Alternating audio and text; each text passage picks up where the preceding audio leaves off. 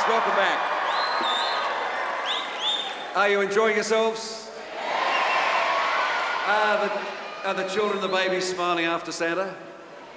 Yes, of course they are. We have a great mix for you tonight at Carol's, as we always do something old, something new. And one of our fabulous new faces and new voices tonight has a new CD of uh, show stopping songs. The album is called Hope, Hope, which is a great title and a great sentiment for this time of the year. So, would you please welcome and join her tonight in singing We Three Kings, Danielle Soccio.